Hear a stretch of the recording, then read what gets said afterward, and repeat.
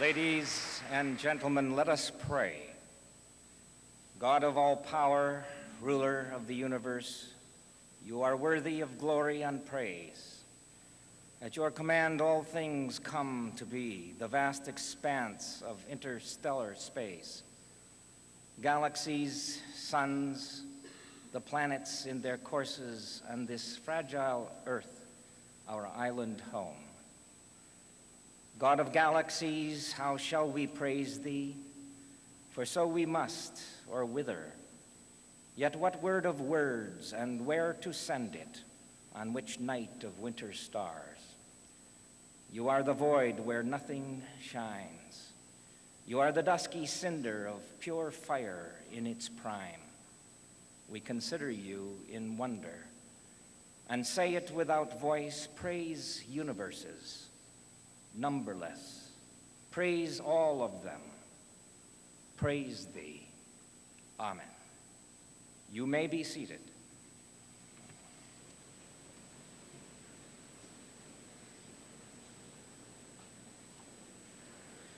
Ladies and gentlemen, the president of this college, Dr. Axel Steuer.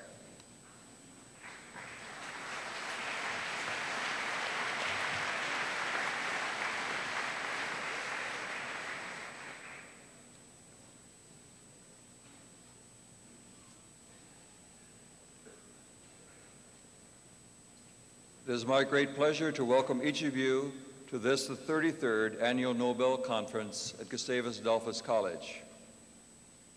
We are honored to have with us for these next two days an especially distinguished group of speakers and panelists as we together to explore the very timely topic of unveiling the solar system. What insights have 30 years of highly sophisticated study of our galactic neighborhood as conference director Richard Q. Elvee likes to describe our solar system, brought us, and what issues most intrigue the scientific community today, 40 years after the epoch-altering launch of the first artificial Earth satellite, Sputnik. The timeliness of this year's Nobel Conference topic is underscored by the almost daily news reports related to new discoveries about our little corner of the universe, or about efforts to make such discoveries. So in a sense, we are here together to catch our breath, to take stock, to reflect upon where we have come, to reflect upon where all of this exploration of new frontiers might lead. Your presence with us is strong evidence that the fascination with the character of our solar system, its history, its makeup, and its destiny is as persuasive today and pervasive today as it has ever been. Over the next two days, our horizons will be expanded as we hear stimulating presentations, participate in lively discussions, and enjoy the beautiful music and visual art related to our conference theme. This conference is one of the ways that Gustavus Adolphus College affirms its roots in the high aspirations and values of the Swedish Lutheran immigrants who founded this community of liberal learning more than 135 years ago. Building on this solid foundation, Gustavus Adolphus has evolved into a distinctive institution, a college of character that declares that the unfettered pursuit of truth and the development of values as an integral part of intellectual growth are central to its educational mission. A number of us here have read at least some of the many books and articles written by our celebrated speakers. Our renowned guests will be our teachers for these next two days, and if this Nobel Conference tradition holds, they will have acquired scores, hundreds, even thousands of new friends by tomorrow evening. In the words of an Ivy League college uh, university president who recently wrote to me about this conference, it promises to be a fantastic meeting of great minds. These annual Nobel conferences are authorized by the Nobel Foundation, Stockholm, Sweden, as a memorial to the life and ideals of the great Swedish-born inventor, international businessman, and philanthropist Alfred Nobel. We are grateful for the singular and very special relationship that Gustavus Adolphus College has enjoyed over all these years with the Nobel Foundation and for its official endorsement of these conferences. This has permitted us to convene memorable conversations over the years with, with some of the leading thinkers at the forefront of the various sciences. These conversations underscore the commitment that this college has to the lively interchange of ideas across a broad range of disciplines, an exchange informed as it is by ethical and theological reflections, an exchange that well expresses the essence of liberal arts education at Gustavus.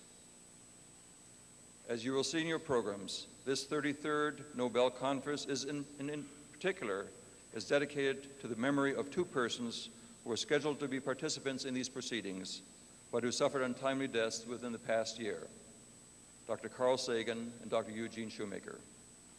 They sparked much interest in and cast much light upon the subject of our deliberations, and so we honor them in absentia and say collectively, may their memories long be blessed. In closing, I wish to acknowledge the financial support for these annual Nobel conferences provided through an endowment established by members of the Russell Lund family, three of whom served this college as distinguished trustees for a uh, long time.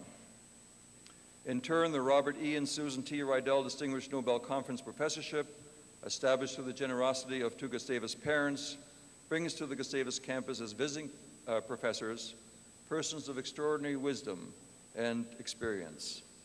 The present Rydell Conference Nobel Conference professor, Dr. Philip Morrison, and his wife Phyllis, he was himself a presenter at the 1991 Nobel Conference, will be joining us for our discussions. Again, on behalf of Gustavus Adolphus College, I welcome each of you to yet another journey of discovery and now declare the 33rd Annual Nobel Conference Unveiling the Solar System, 30 Years of Exploration, officially open.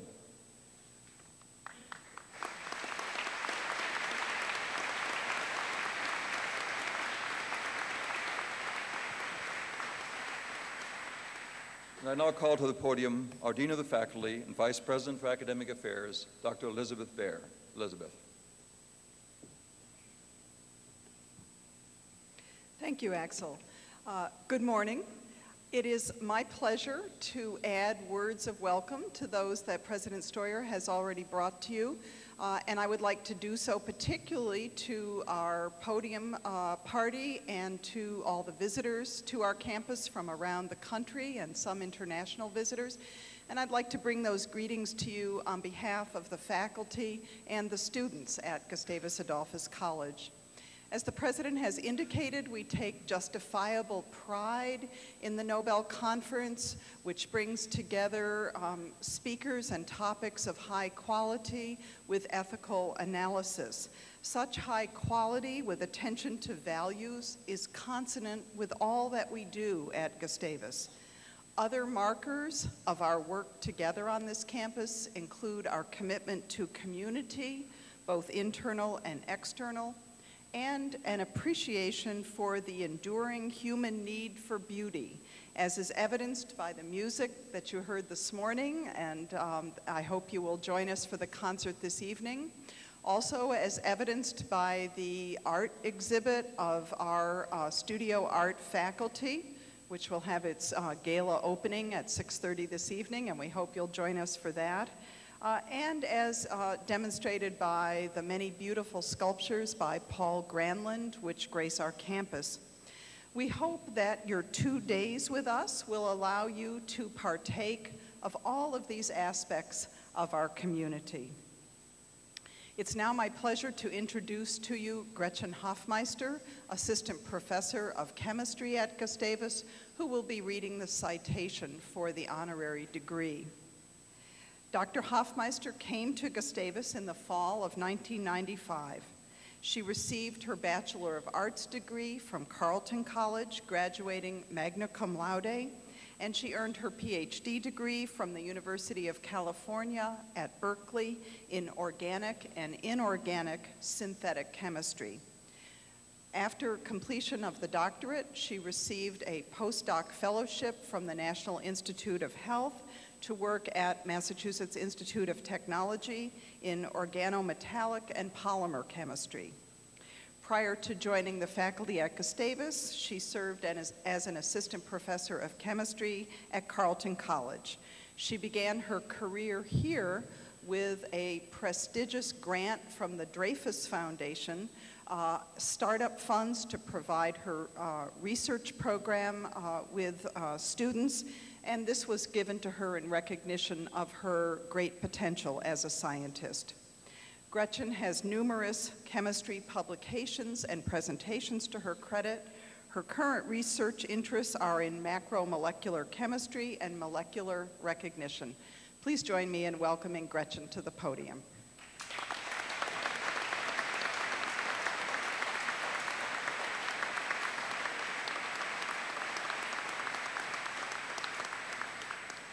Elizabeth.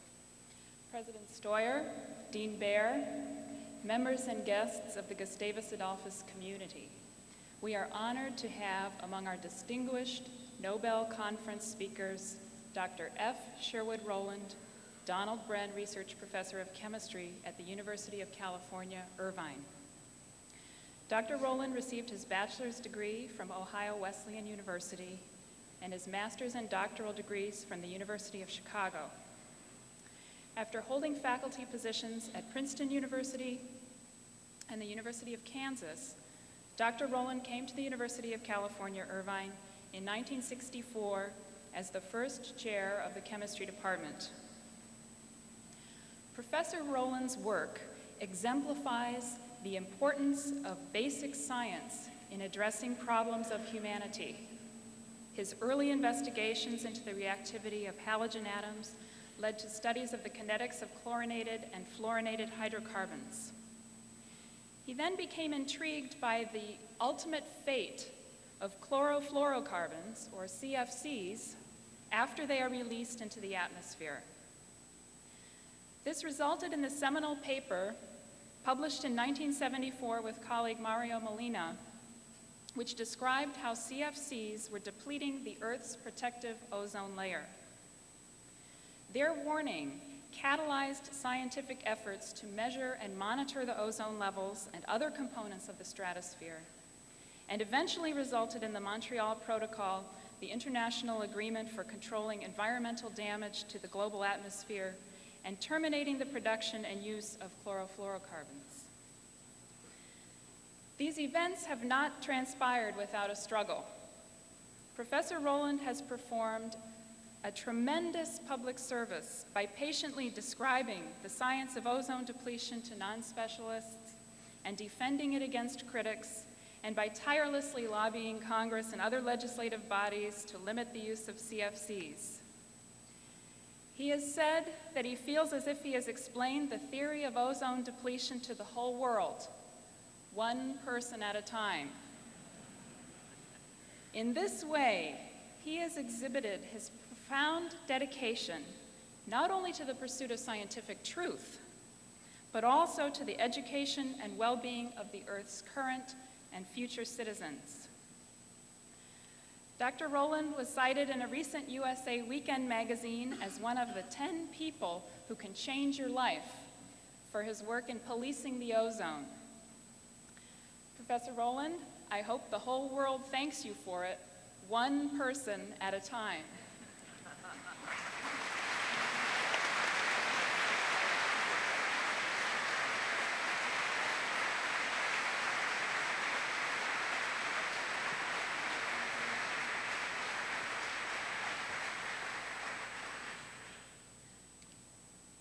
Frank Sherwood Rowland, your contributions in the fields of atmospheric chemistry, radiochemistry, and chemical kinetics have been both varied and profound.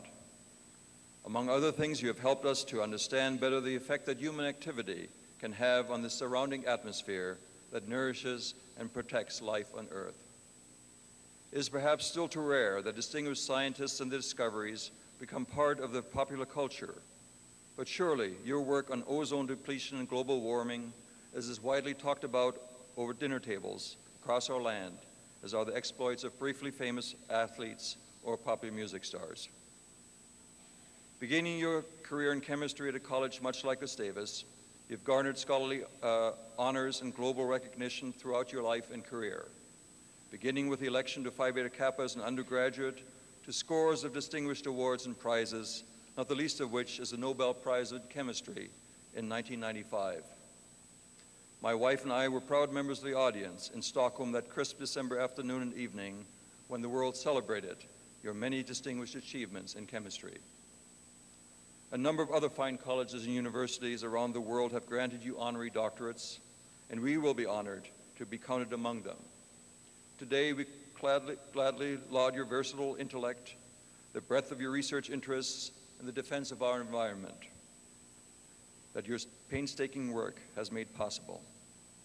We now invite you to join the great fellowship of alumni of Gustavus Adolphus College who share your intellectual curiosity and your passion for understanding the character of our physical universe. Therefore, by the authority vested in this institution by the state of Minnesota, and upon the recommendation of the Board of Trustees and the faculty, I hereby confer upon you, F. Sherwood Rowland, the, honor, the, the degree of Doctor of Science, honoris causa, with all the rights, privileges, and honors pertaining thereto.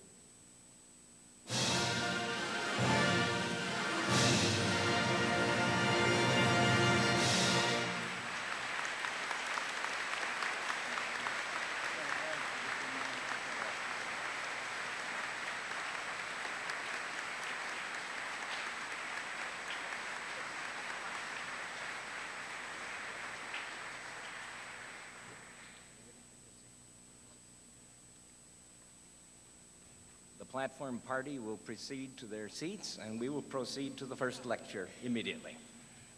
Dr. Stone, if you would come forward.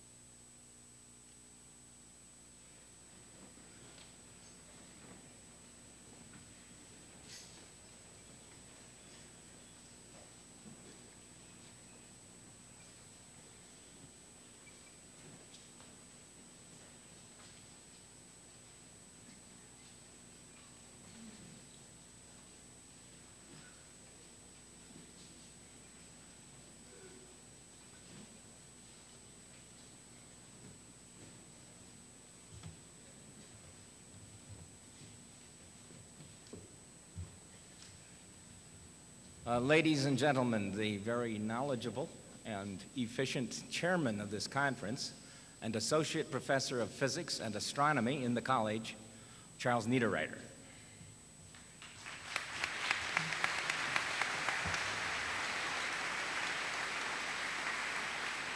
Thank you, Chaplain Elvee. It's my pleasure to introduce to you this morning my colleague, Professor Eric Eliason. Dr. Eliason holds a BA degree in math and computer science from Augustana Rock Island, and a master's and a PhD in English literature from the University of Virginia. He has been a member of our English program since 1989 and is currently an associate professor. Professor Eliason will now introduce our first speaker, Dr. Edward Stone. Good morning. If, like me, most of your information about solar system exploration comes from the popular press, you might be under the impression that the really big names in this enterprise belong to machines and to projects. Discoverer, Pioneer, Viking, Explorer, Voyager, Magellan, Galileo, Pathfinder, Cassini. For the last 30 years, these are the names which have become associated in my mind with the latest discoveries and the most amazing pictures of the solar system and beyond. Today, however, we have the great privilege of being introduced to and hearing from one of the most important humans behind these famous machines. Dr. Edward Stone is currently director of the Jet Propulsion Laboratory and vice president and David Morrisroe professor of physics at Caltech. Among his earliest scientific projects, he paid attention to the world of the very small out in the vast largeness of outer space, studying the nuclei of cosmic rays and looking for atoms of lead and pl- platinum. Among his later projects, he has been in charge of the big picture in outer space. He has extensive involvement with the two Voyager spacecraft, which have completed their flybys of Jupiter, Saturn, Uranus, and Neptune, and are this morning out looking for the outer limits of the sun's magnetic field and the outward flow of solar wind. As director of the Jet Propulsion Laboratory, Dr. Stone oversees the ambitious scope of NASA's upcoming interplanetary missions. Indeed, when he leaves this conference, he will be heading out for next Monday's launch of the Cassini probe of Saturn and Titan. The extensive list of Dr. Stone's academic and professional credentials and awards can be found in your program, but deserving special mention are the National Medal of Science received from President Bush, the American Philosophical Society Magellanic Award, and NASA's Exceptional Scientific Achievement Medal. Please welcome Dr. Edward Stone, who will address us on the topic of the search for life elsewhere.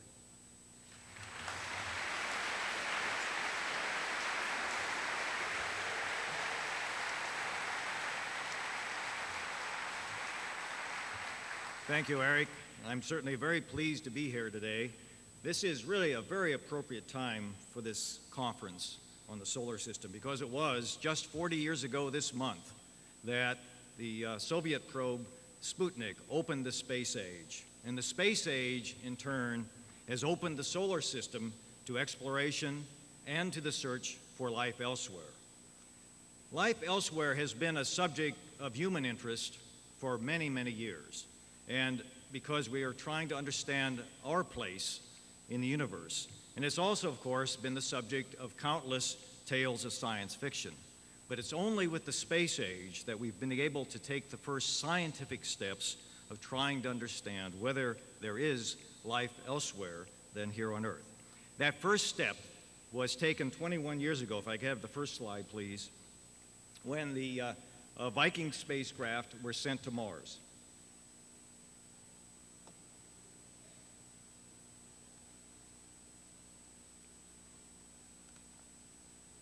There we go.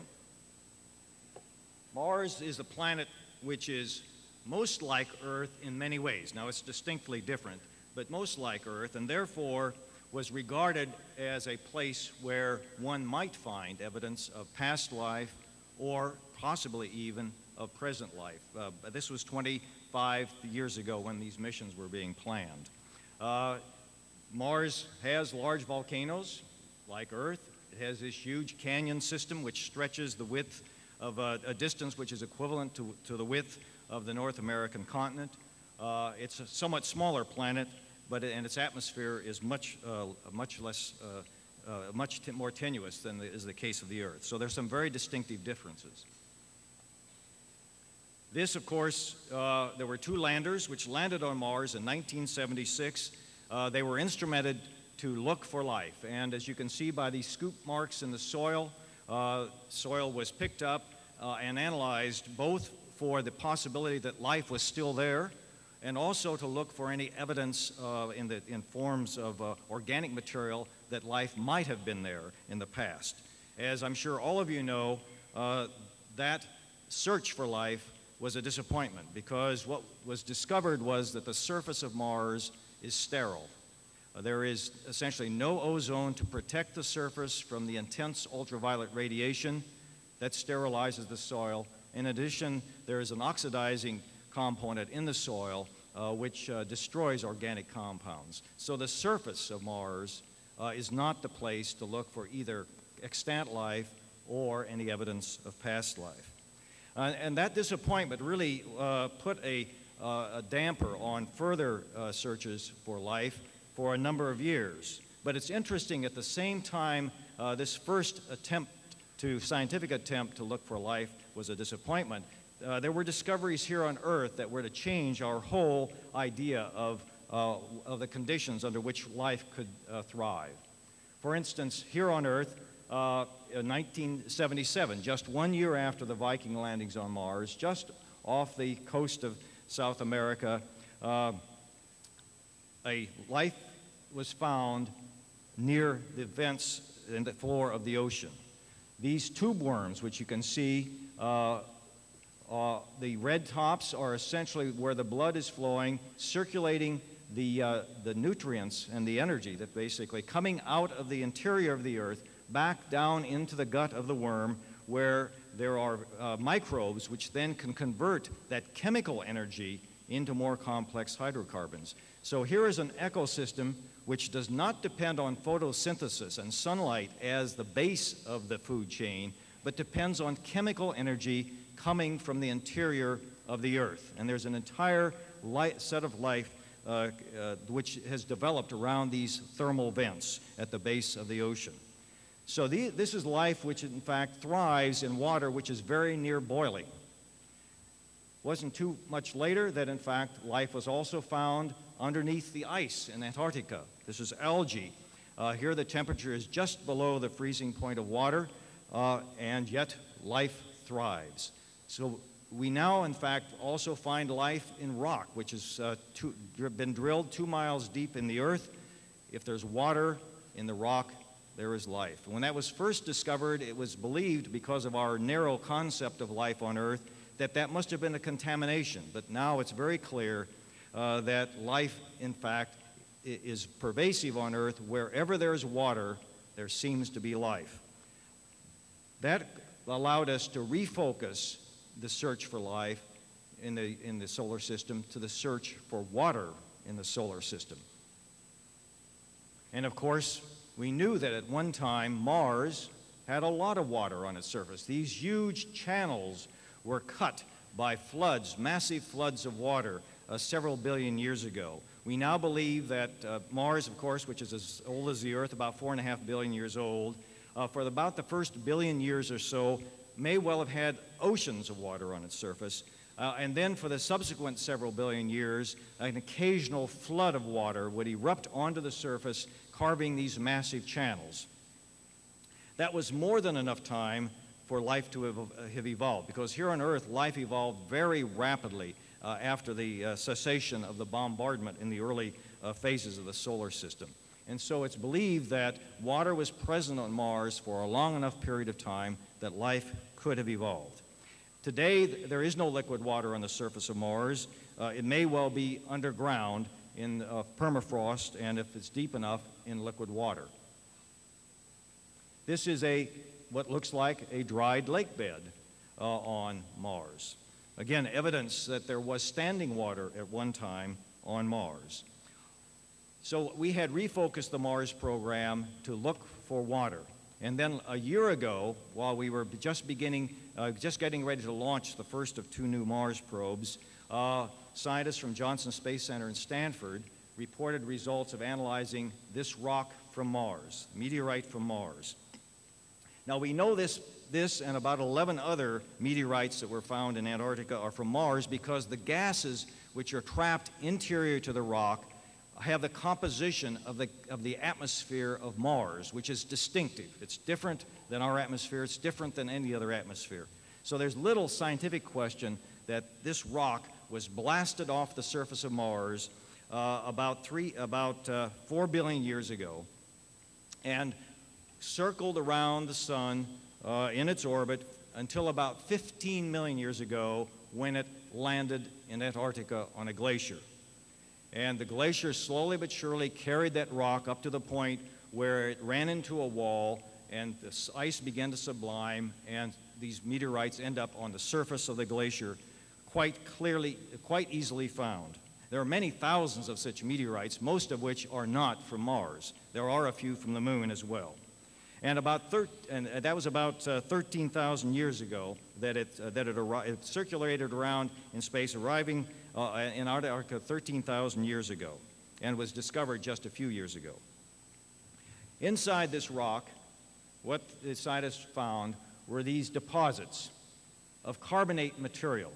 Now, carbonates can be deposited chemically, but they can also be deposited uh, by bacteria. So, one possibility is that these are the res- a result of a bacterial deposition. That was one piece of evidence that was offered. A second piece of evidence was that in the, in the periphery of these deposits, uh, there were small crystals of a material called magnetite. Again, magnetite can be pr- produced chemically, but it can also be, here on Earth, produced by bacteria. So, a second uh, piece of evidence that possibly there was life uh, at one time. And the third piece of evidence was that in this same region interior in the rock, uh, the, the, careful analysis of Stanford showed a, uh, a presence of uh, polycyclic aromatic hydrocarbons. These are uh, organic compounds which, again, can be produced chemically. In fact, we find these compounds throughout interstellar space, actually. But they can, there can also be the residue of life. That is, the breakdown of more complex organic compounds which are associated with life. So they said there are three pieces of evidence, all found in the same place. Yes, indeed, you can explain each of them by other than life, but since they're all together in one place, their suggestion was the presence of life is the easiest uh, explanation. So it is, in a sense, circumstantial evidence. They had one more piece of evidence that they offered, and that was in this uh, electron micrograph, these small little structures, which look a little bit like uh, primitive uh, fossils, except these are about 100 times smaller than the smallest fossils that have been found on Earth.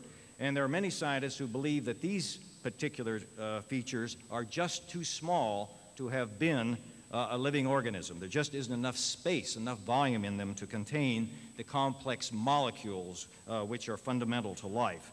So, this is a very controversial suggestion. In fact, the entire uh, question of whether or not this evidence is evidence, con- concrete evidence for life, I would say the verdict is it's not concrete evidence at all. Many scientists now applying their own techniques to analyze the nature of these, uh, of these uh, deposits in this rock to see if they can either rule out life, for instance, if they could show the temperature at which all of this happened was much too high, or conceivably, although perhaps even more difficult, to actually establish that uh, these were produced by life. It's unlikely this one rock is in any way going to uh, be a definitive statement with respect to life elsewhere. But it, it is still, it is not inconsistent with, the, I think, the general feeling in the science community that there was life on Mars at one time. The challenge we have is finding evidence for that life. And so we're on our way back to Mars. And the mission which we launched last December uh, is Mars Pathfinder. Uh, you can see it here in the laboratory with its small rover Sojourner, which is tucked up inside. You can see in its crouched position so it will fit inside this tetrahedron.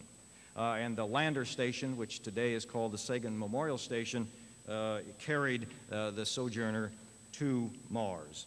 Now, we picked a spot, since I've said water is a key, we picked a spot. This is a huge flood channel, tens of miles wide, which has been carved by a flood of water flowing this way into this large basin. And we picked a spot as indicated by this ellipse, which is about 60 by 120 miles in size, uh, far enough from the mouth so that the big boulders that the water carried would be dropped, and hopefully only the smaller boulders would have been carried out to this distance so that they would be of a size that the little rover could navigate. Uh, the advantage of picking this grab bag site is that nature has provided us, us, a sample of rocks from a great region on Mars because the water has carried rocks from diverse regions down to this one location. So even though we can't move very far, we hopefully can sample a much larger region on Mars. The challenge was doing all this at much lower cost than, in fact, uh, that, that was the situation for the Viking mission uh, 20 years ago. In fact, the cost of this mission was between 5 and 10 percent of the cost of Viking. If I could have the video now, this is a, a computer graphic of the, of the innovative way that was uh, chosen. If I could have the uh, video, please, uh, that was chosen to, uh, to deliver uh, Sojourner to the surface of Mars directly from launch from Earth. And as you can see in this image, uh, we went directly to Mars, entered the atmosphere with an aeroshell, slowed us down just like the shuttle slows down as it returns to Earth uh, when it lands, uh, using just the air as an aero brake, uh, taking out most of the velocity uh, as, the, uh, as the probe comes in. We then pop a parachute, as you can see. once we slow down enough, pop a parachute, and that will then take out more of the velocity of the landing system. All of this is done on a direct launch from Earth. We did not go into orbit first.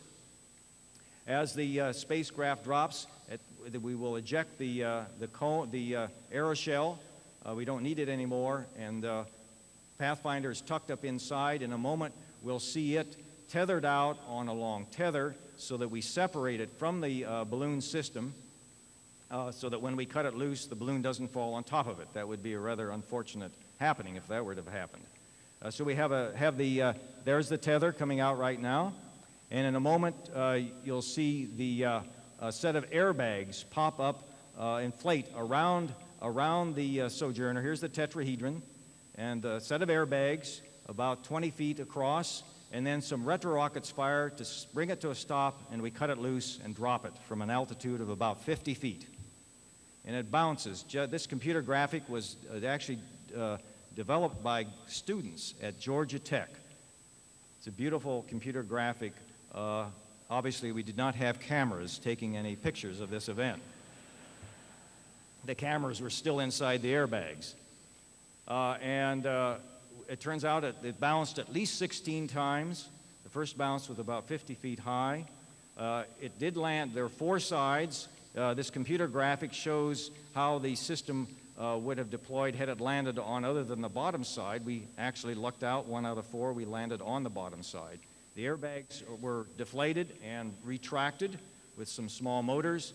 And then, uh, in this case, you'll see it will flip first onto its base, but Pathfinder didn't have to do that since it was already on its base. And then the four, the th- other three pedals uh, with solar panels on them and with, uh, with Sojourner uh, on it, uh, open, uh, ready for exploration. That's it for the video. Thank you. So that was all on the 4th of July.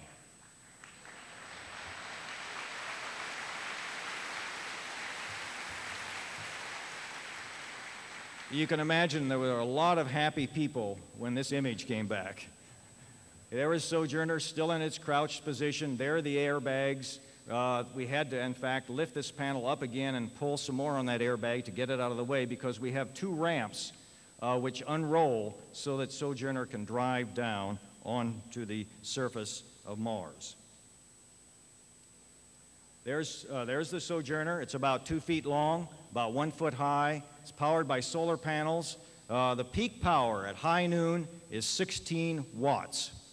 The night light that many of you have at home is about twice that. So the average power of this little rover is about like your night light. And it has to do everything drive itself, compute, uh, navigate, and uh, uh, communicate back to the lander.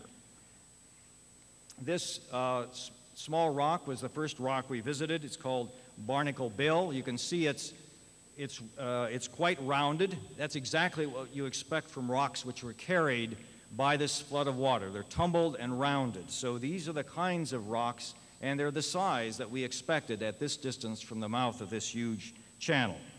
So this is one kind of rocky material uh, which we found. That is rocky material which came from somewhere else uh, on Mars at higher, uh, higher altitudes.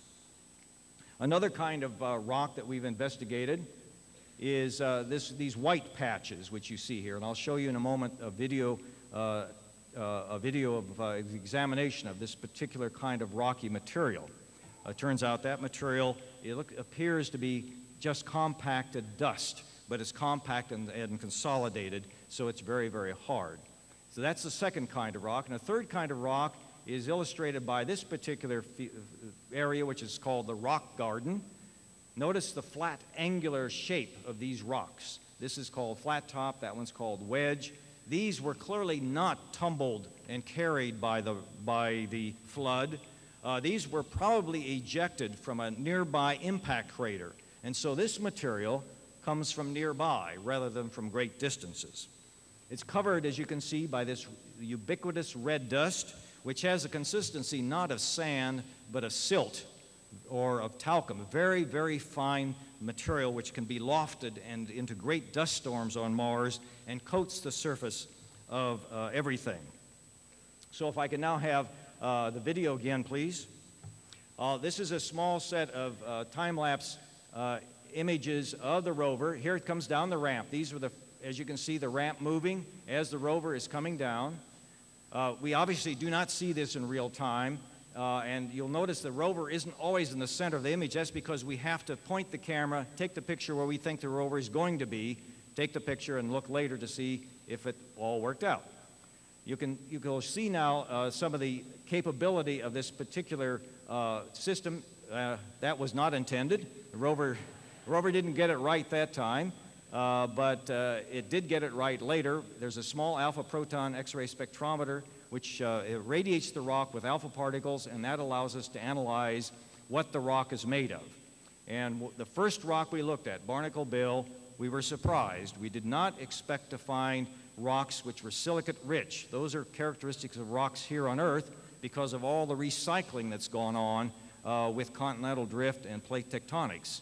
We believe that the geology on Mars was much simpler. And in fact, the first rock we looked at said, wrong, Mars has had a complicated geological past as well.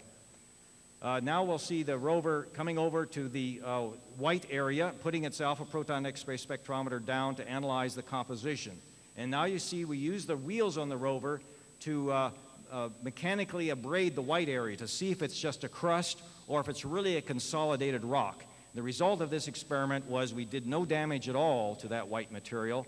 It's very, very hard. Uh, and we believe this white material may underlie this entire region that it's the, if you like, it's, uh, it's a, it's a uh, sedimentary um, material that was left by the flood of water. Now you'll see the rover again uh, uh, moving across the surface. You'll have some images of, uh, here you can see the rover doing a wheelie because we use the wheels to dig holes in the sand and the soil. Again, here you can see one of those holes that was dug to, in order to determine the mechanical properties of the soil.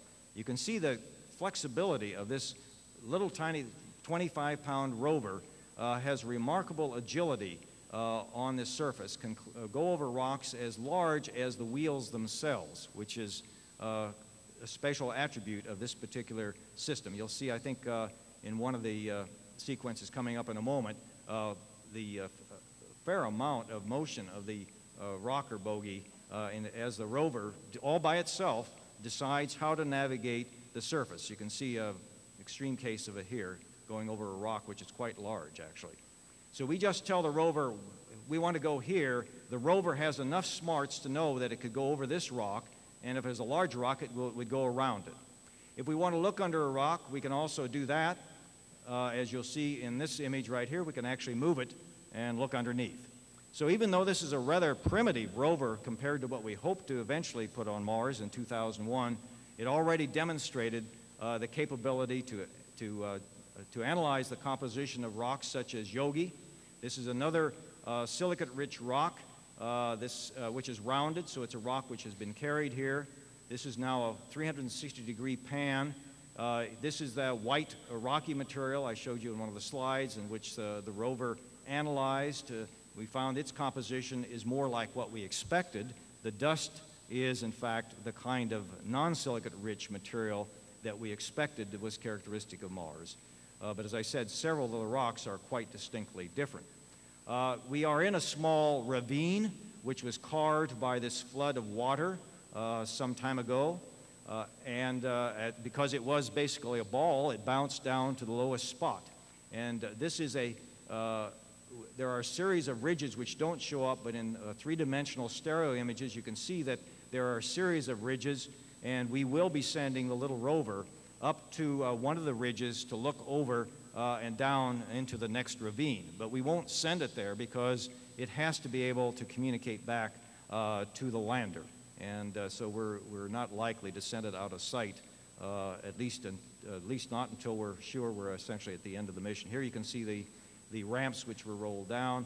These are two peaks off in the distance. And now we're back to uh, where we started.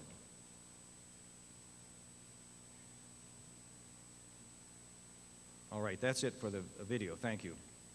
So we have found a way to uh, uh, have maneuverability on the surface of Mars, and even though this little rover did not have the capability to search for life itself, it demonstrated that we can, in fact, in a much lower cost way, get to the surface of Mars uh, and, uh, and begin the exploration uh, that will lead us, I think, to uh, looking for life on Mars. The next step, oh, one last thing I want to mention with the lander has, in addition, uh, a weather station. These are small little conical wind socks, which we image to see how hard the wind is blowing. When the wind blows hard, they tend to be more horizontal. In addition, there's some hot wires called a hot wire anemometer which, uh, depending on how high the wind velocity is, the wire is hotter or colder. And then we actually can measure temperatures uh, with uh, those hot uh, temperature as well as wind velocity.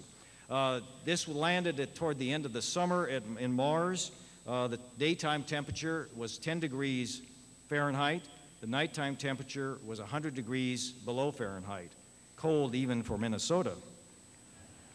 And that will be the life limiting factor for this rover and the lander, this extreme temperature variation, which goes on every 24 hours uh, during the Martian day. Uh, the, uh, the next step uh, was launched actually one month earlier than Mars Pathfinder. It was on a slower trajectory and just arrived on September 11th. This is the Mars Global Surveyor, which will go into orbit around Mars. Uh, allowing us to, uh, uh, to map very accurately uh, the surface of Mars. In fact, uh, as I said, we just went into orbit less than a month ago. The magnetometer, which measures the magnetic field, has already discovered that Mars does not have a global magnetic field like the Earth, where essentially there's a bar magnet inside the Earth, and all the compasses all point basically to the North Pole, up near our north rotation axis. Uh, on Mars, it appears as though there are many small bar magnets distributed over its surface.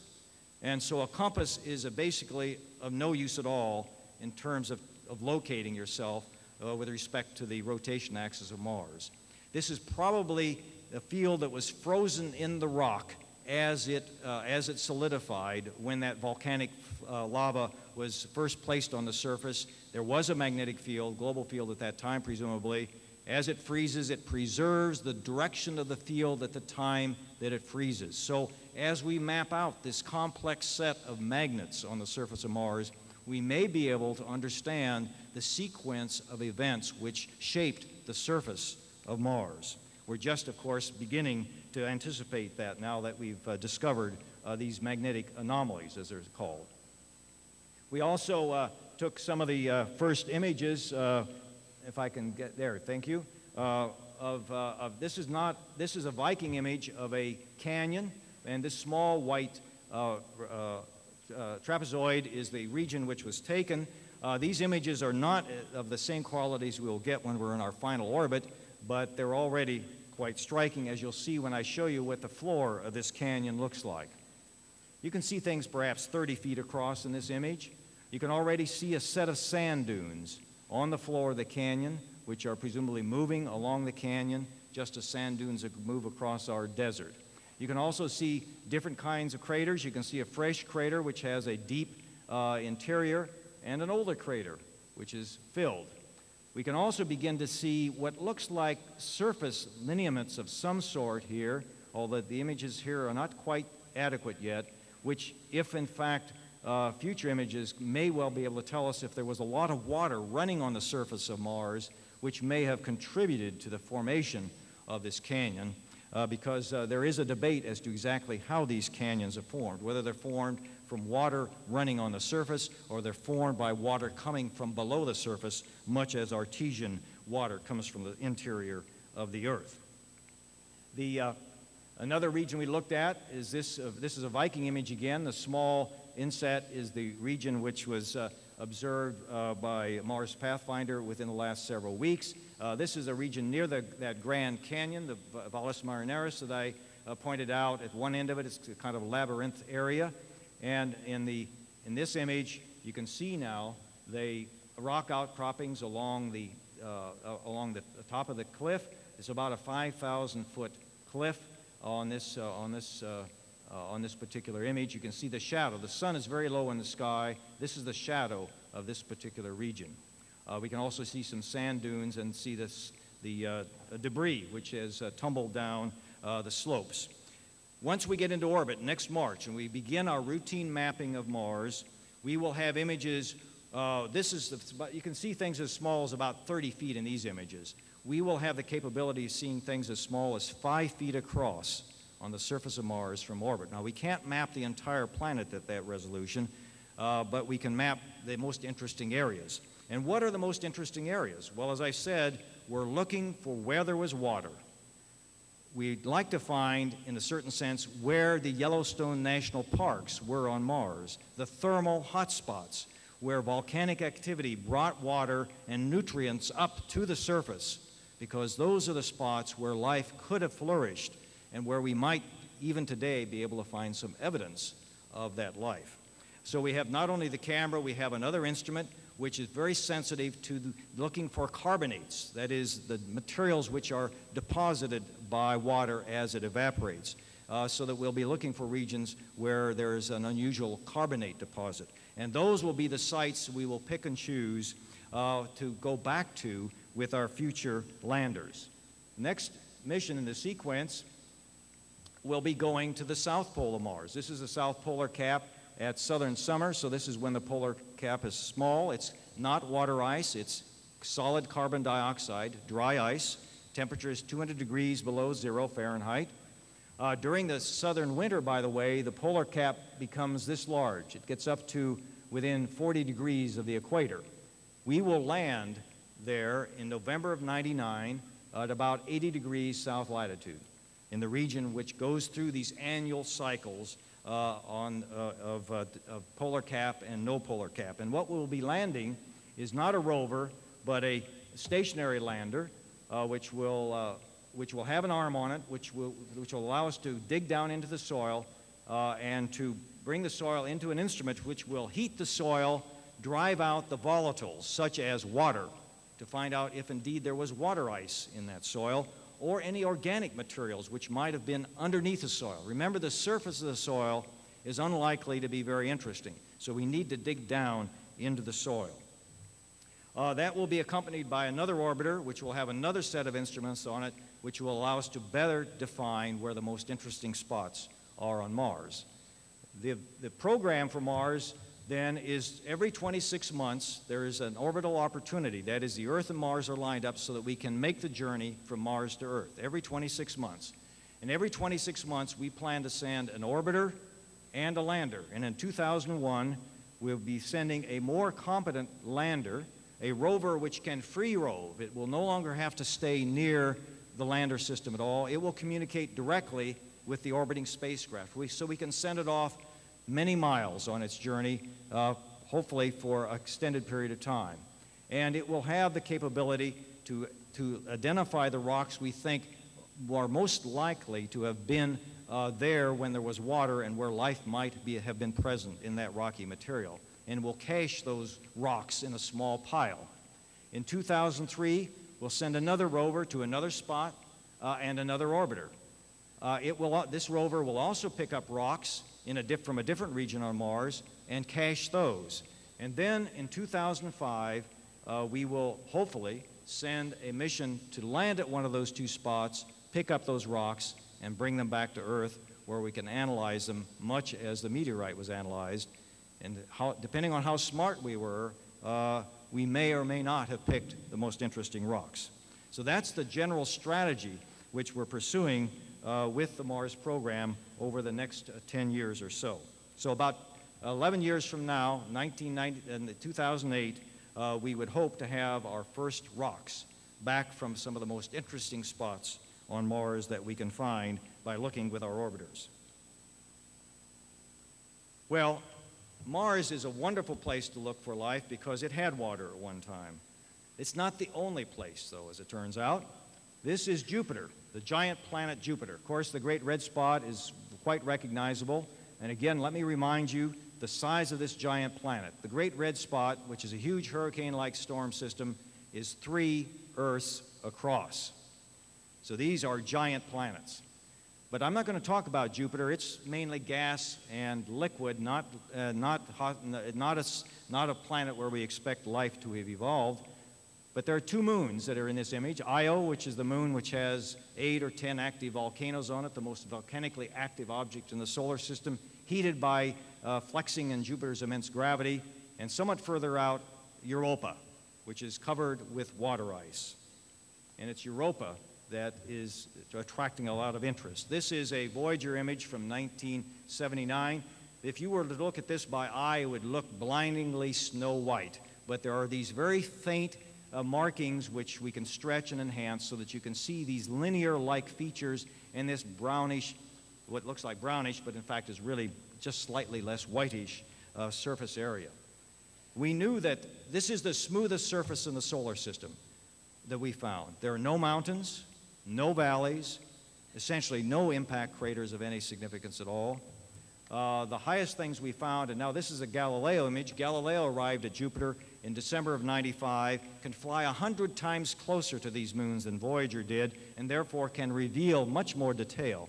This is a Voyager image, a Galileo image, and perhaps you can see that these, again, this is false color. This would be snow white, but these brownish colorations are deposits on the surface which possibly are associated with the cracks which formed in this ice and with the narrow white ridges which are then formed in the center of these darker regions. These ridges are a few hundred feet high. They're the highest thing on the surface, suggesting that we may be looking at ice pack on a liquid water ocean. Imagine the possibility that there is still an ocean somewhere else in the solar system. Well, Galileo flies much closer. This is an image, if it could be focused just a little, there we go, where you can see in more detail these uh, ridge systems uh, which have formed, and you can see evidence of older ridge systems and still older ones. This surface has been cracked and crazed, uh, and as time goes on, the older cracks uh, essentially subside back into the icy surface, and the fresh ones you can see quite clearly.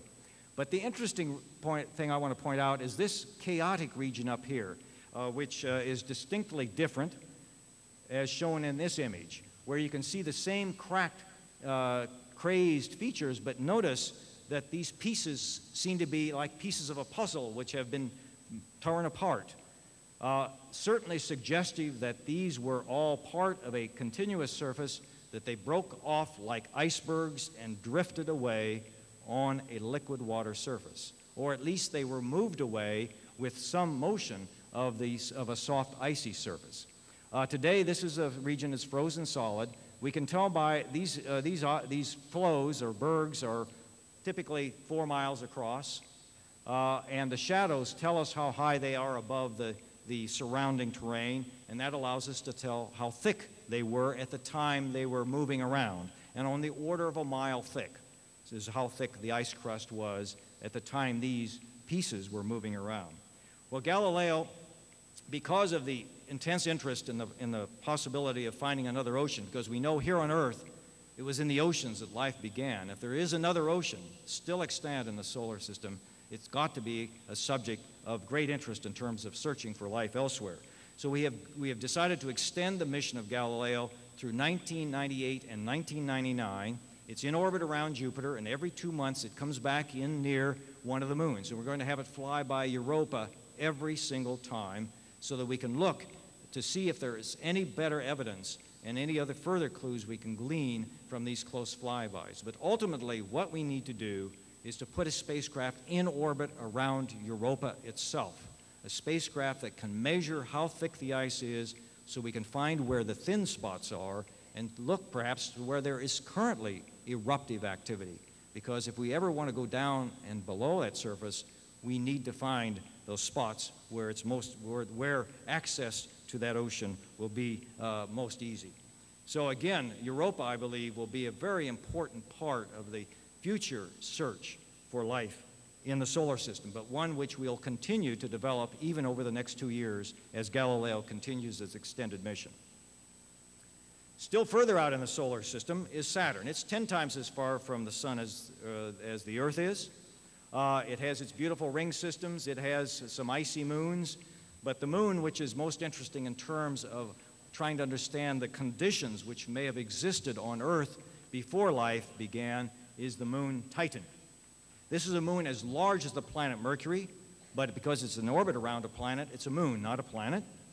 Unlike Mercury or any other moon for that matter, this moon has a substantial atmosphere the surface pressure on Titan is 60% greater than here on Earth. And like on Earth, this atmosphere is 80% nitrogen.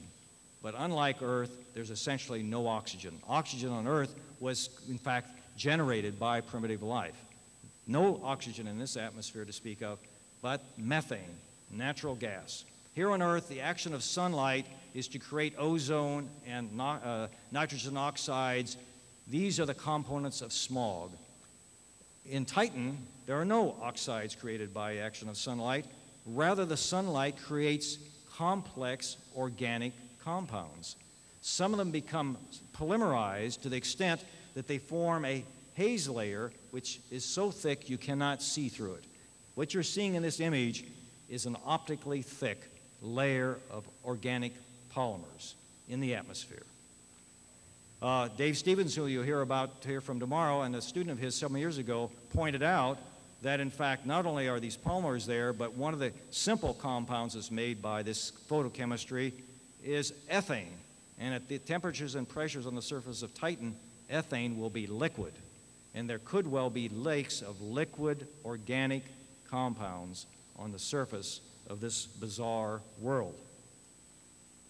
Now, this is the Cassini spacecraft. It's now in Florida, ready for launch uh, one, uh, next, uh, early next Monday morning. Uh, it's a joint mission with the European Space Agency and the Italian Space Agency. The Italian Space Agency has provided the radio system.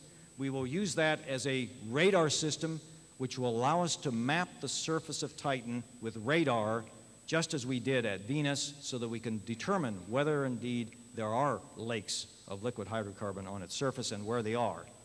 And the European uh, probe, European Space Agency probe Huygens, which will drop into the atmosphere of Titan with a set of instruments designed to measure the organic materials that are being made there today by sunlight and particle radiation. It's believed that the chemistry which is occurring there today on Titan may resemble in some important ways the chemistry that occurred in the Earth's atmosphere before life evolved. This is nature's laboratory.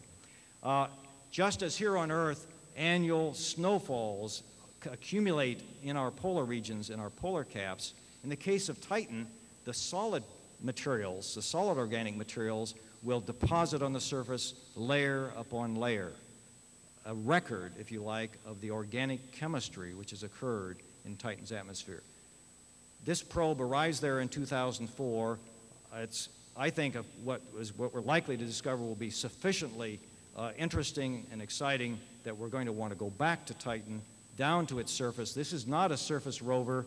It will just drop to the surface. We will see what the surface looks like, but it's not intended to really work on the surface. It's an atmospheric probe. We will want to go back and explore and learn what Titan has to teach us about the, the origin of life in the solar system. One other important uh, element of the story may well be comets. This is uh, the uh, comet Halley as it appeared in 1986 when the European Giotto spacecraft flew by. Uh, about that time, we began to realize that comets, which are mainly water ice and rock, are not white. They're charcoal black. They're covered with a black material, carbon based material of some sort. When the Giotto spacecraft flew through, uh, it had an instrument on it which allowed it to measure uh, the composition of the dust that was coming off. Although it couldn't measure the molecular composition, it could measure the atomic composition. It found that the dust particles were made primarily of hydrogen, carbon, oxygen, and nitrogen, the atoms which make up organic molecules. We don't know what that organic material is. We don't know where it came from. We see a lot of organic material in interstellar space out of which new solar systems form. So maybe this material was brought into the mix out of which all of everything in the solar system formed. We don't know. What we need to do, of course, is to get a sample of that material back to Earth. How do we do that? We're going to be launching a mission called Stardust, which Don, Don Brownlee at uh, Washington University is the principal investigator for, which will fly through uh, the uh, uh, coma of a comet and collect dust. The challenge we have is when we fly through, we're going to fly through at something like 12 or 14,000 miles per hour. And if you try to collect these tiny little dust particles at that velocity, they evaporate. So, how do you do it? You do it by capturing them in something called aerogel. This is a silicate material, but its density, as you can tell from this image, is rather low. In fact, we can make this material with a density of air. It's made of silicate, but it's the density of air. That material has so, such a low density that these small particles can be captured, slowed down, and stopped in this material without, uh, ev- without uh, evaporating them. And the Stardust mission will have panels of this material, which will be held out, if you like, as we go through the comet uh, material, and then tucked back down into this aeroshell, which will then return the material to Earth, to Utah in 2006. So, in less than 10 years, we should have a sample of this organic material back on Earth for analysis. We know that the comets bombarded Earth early in its formation.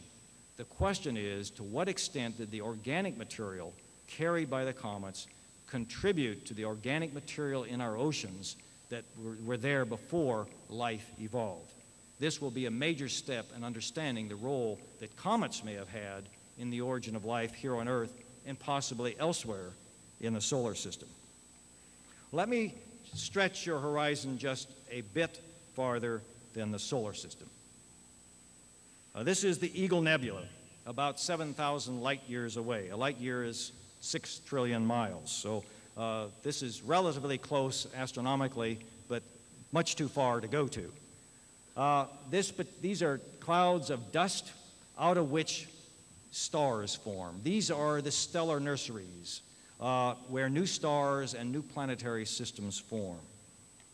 Uh, let me show you, this is a visible, visible light image taken by Hubble. For scale, this particular cloud is about, six, about a light year tall.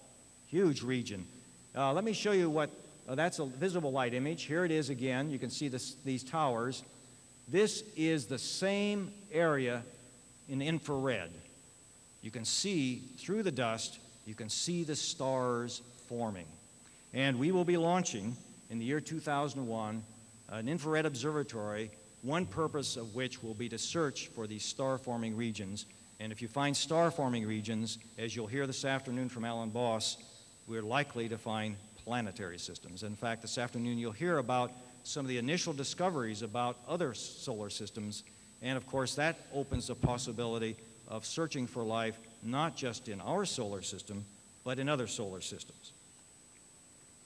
But it, and in fact, here is a Hubble image of uh, one of a star which has an orbiting object around it.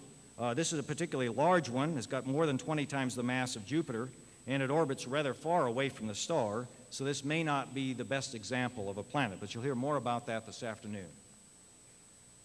But while we're beginning to develop our technology to look at other solar systems, we already have the technology to extend our search for life beyond Earth uh, uh, and to look for uh, life uh, in our solar system and to look for other places in the solar system that can tell us what it might have been like here on Earth before life evolved. All of which is obviously sort of addressing the big question that humanity has had for many years, and that is how did this all happen on Earth? What is there about Earth that has led to life as we know it here today? Thank you very much.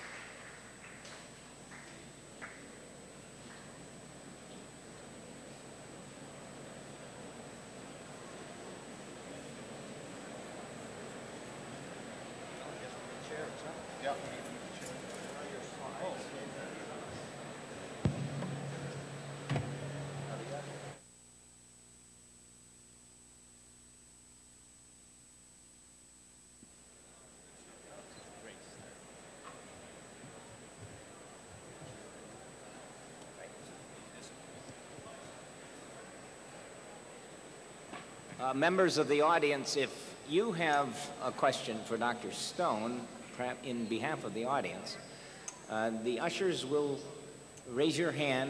The ushers will have blank cards, and you can write the question out and hand it back to the usher. And The usher will bring it up here.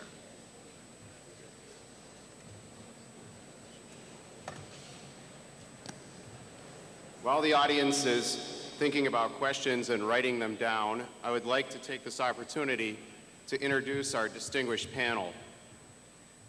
From your right to the left, F. Sherwood Rowland, Donald Bren, Research Professor of Chemistry at the University of California, Irvine, and winner of the 1995 Nobel Prize in Chemistry. David Stevenson, Professor of Planetary Science, California Institute of Technology. Story Musgrave, NASA astronaut, Johnson Space Flight Center, recently retired. Roald Sagdeev, Distinguished Professor of Physics, University of Maryland, and former director of Moscow's Institute for Space Research. Edward Stone, director of the Jet Propulsion Laboratory. Alan Boss, Division of Terrestrial Magnetism at the Carnegie Institution of Washington. Robert John Russell, who will join us this afternoon, is the director of the Center for Theology and the Natural Science in Berkeley. And Philip Morrison, Institute Professor Emeritus from MIT, and this year's Rydell Professor at Gustavus.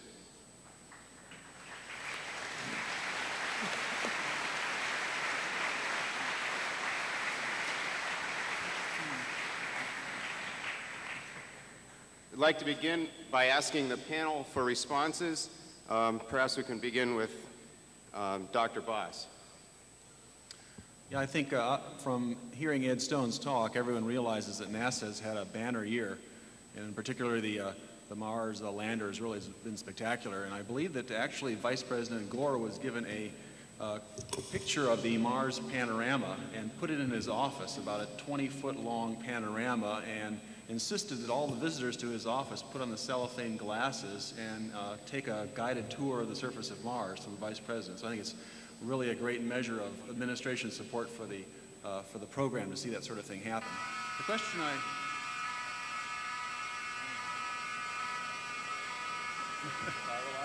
Sounds like a fire alarm.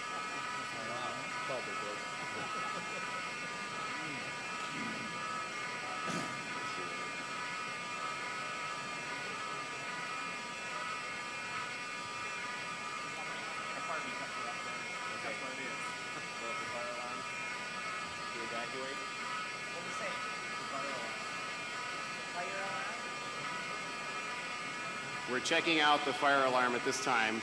We'll let you know shortly. You think people should leave? Uh, be calm, people. I'm- That is a fire alarm, but let's wait for just a moment.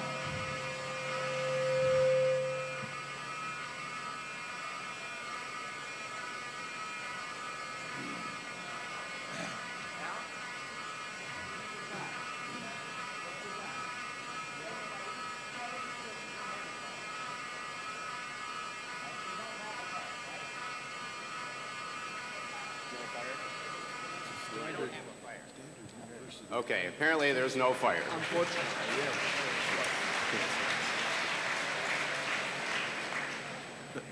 The question I have for you regards NASA's plans about returning to Europa. You pointed out that with the uh, uh, Cassini mission, we'll certainly be tantalized by what we learned at Titan, where we have definite plans to continue going back to Mars. Uh, what is NASA going to be able to do to get below the ice of Europa? Are there any hopes that NASA will perhaps send something which could uh, penetrate the ice and bring up a sample from down below? Uh, yes, there is. And uh, uh, we, in fact, are talking with the National Science Foundation. It turns out there is a lake in Antarctica called Lake Vostok, which is about two miles down below the ice. It's about the size of one of the Great Lakes. It has not yet been penetrated because it's, it's been sealed off for uh, uh, perhaps a million years or so. Uh, and that, so there is a great interest in developing the technology to be able to explore that lake, and that may be a, a, a joint capability where uh, we can learn how to do such things here on Earth uh, before we deploy uh, such a system on Europa. But we're beginning to study it, But we'll have enough time because I think the first mission to Europa will be the mapping mission. That will give us enough time to develop the technology and test it so that we can uh, probe down into the, uh, through the ice if we can find a thin, thin enough spot. Other questions from the panel? Yeah, Bill. Bill? I have a very simple, rather immediate question, not touching the large issues, but I think it's interesting. When will we hear the winds of Mars? When will we hear the winds of Mars? Why not? Well, we, we uh, have, actually, that's a, we, we could make an, a, uh sound recording of the data we have, and perhaps that's something we should do. But we have been recording the winds on Mars. We did one 24-hour high-resolution uh, re record of the winds on Mars, and we found it's, it's uh, there are small little dust devils, and we've actually seen a dust devil move past the landing spacecraft. Uh, and a, uh, of course, the atmosphere is much more tenuous than here on Earth, less than 1% of the Earth's pressure. What about a microphone? Uh, I might, well, in a certain sense, I, uh, yes, uh, that's good. That's good. Uh, good suggestion. I don't know if we have a plan for a microphone or not, but uh, that's a very good suggestion. Uh, It's really cheap. yes. Professor Rowland? Ed, you, you mentioned that the uh, gases in the meteorite from the Allan Hills and the gases in Mars have the same composition.